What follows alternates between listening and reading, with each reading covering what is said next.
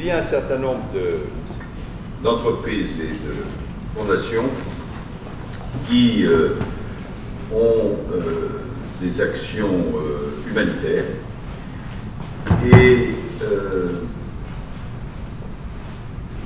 l'État français essaye, avec le concours généreux de ces entreprises ou fondations, de développer notre présence humanitaire. Pour vous donner quelques exemples, au cours des derniers mois, vous avez la fondation Airbus Hélicoptère aux Philippines, qui, euh, grâce à ses moyens héliportés, a permis des missions de reconnaissance tout à fait essentielles pour évaluer les dégâts et les besoins. Vous rappeler peut-être les inondations aux Philippines qui ont été épouvantables. Même chose en Bolivie, même chose en Serbie. Ça, c'est pour la fondation Airbus Hélicoptère.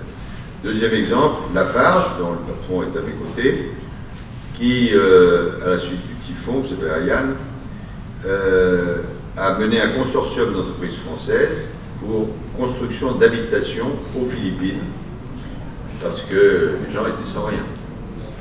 Troisième exemple, la fourniture de médicaments par euh, une association française d'urgence et de solidarité internationale des entreprises qu'on appelle TULIP, a été transporté en Irak par vol gouvernemental et distribué par une ONG française sur place. Autre exemple, Veolia, qui a mis à disposition euh, des euh, éléments pour approvisionner en eau, en eau pour les déplacés irakiens.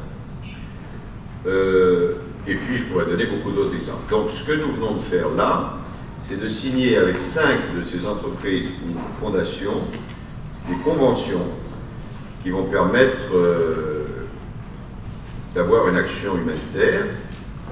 L'entreprise ou la fondation euh, s'engage à faire un certain nombre de choses qui sont extrêmement utiles pour euh, le pays concerné, frappé par une catastrophe naturelle ou par une difficulté majeure.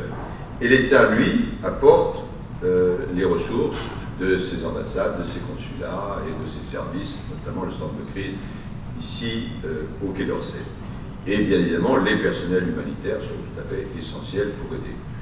Donc euh, voilà, ces messieurs, ces dames qui sont là, euh, sont euh, soit des responsables de ces entreprises de fondation, que je vous remercie beaucoup, soit des ambassadeurs, des diplomates, et ça fait partie à la fois de ce que ces entreprises ou fondations veulent faire, parce qu'elles estiment avoir une responsabilité sociale large, et ce que nous, gouvernement français, l'État français, nous devons faire, puisque c'est dans notre ADN d'avoir euh, certaines conceptions humanistes et d'aider au développement et à la lutte contre euh, les catastrophes de toutes sortes.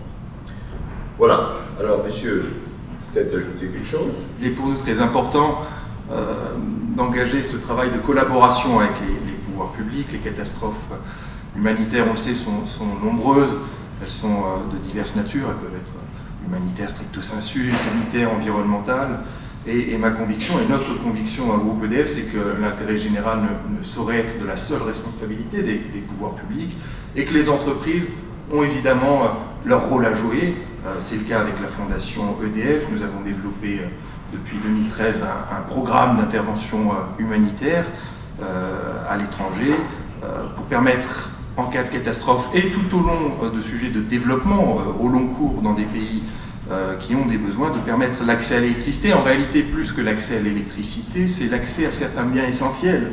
Grâce à l'électricité, c'est l'accès à la santé par l'électrification de, dispensaires, l'accès à l'eau, l'accès à l'éducation par l'électrification d'écoles, l'accès à la sécurité lorsque nous travaillons dans des quartiers, dans des favelas, dans des, dans des bidonvilles. Alors évidemment, il y a beaucoup d'intervenants en cas de catastrophe. Euh, il y a des ONG, il y a des associations locales, les pouvoirs publics euh, ont évidemment leurs responsabilités, les entreprises peuvent intervenir et, le travail qui est engagé aujourd'hui par le, gouvernement et par le, ministre Laurent Fabius, que je, remercie euh, pour son initiative, eh c'est de pouvoir mettre tout le monde autour de la table et d'assurer un, travail de coordination qui est évidemment essentiel en matière d'aide au développement, bien sûr, et en matière d'intervention en, cas d'urgence. Euh, l'idée, c'est vraiment d'avoir le maximum d'efficacité au service de l'intérêt général et, le maximum de, visibilité. Donc la Fondation EDF et plus largement le groupe EDF est évidemment très heureux de s'inscrire dans cette démarche. Merci, donc c'était pour EDF. Lafarge. Donc, je suis Bruno Lafont, le président directeur général de Lafarge. Lafarge est présent dans 65 pays, la plupart des pays émergents, et nous avons des fortes implantations locales. Nous essayons, en période de non-crise, de contribuer au développement économique local. Quand il y a une crise majeure, nous essayons de mettre des moyens exceptionnels. Alors nous avons eu trois exemples dans les dix dernières années. L'usine d'Aceh en Indonésie qui a été ravagée par le tsunami, le tremblement de terre au Sichuan qui était tout proche de nos usines et euh, le typhon aux Philippines. Et dans les trois cas, nous avons à la fois euh, effectivement donné des moyens financiers immédiats, mis à la disposition des équipements, notamment pour nettoyer, et puis euh, contribuer après à des programmes de reconstruction de logements. C'est ce que M. le ministre a dit sur, sur les Philippines, mais nous l'avons fait également à Zhejiang en Chine, dans le Sichuan, et à Aceh, où nous avons reconstruit pratiquement la cité qui avait été détruite par le tsunami. Merci beaucoup. À vous. Edmond Le secrétaire général de, de Veolia. Tel M. Jourdain qui faisait de la prose sans savoir, nous pratiquions depuis de nombreuses années, Monsieur le ministre, de la diplomatie économique sans le savoir.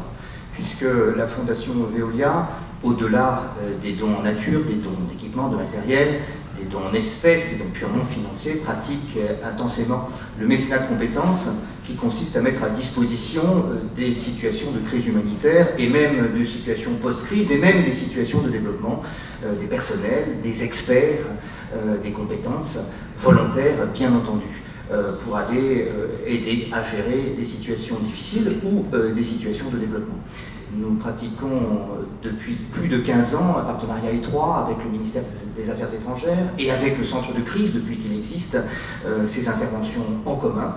Euh, et donc il était grand temps de formaliser tout cela ce matin par la convention que nous venons de signer. Merci beaucoup.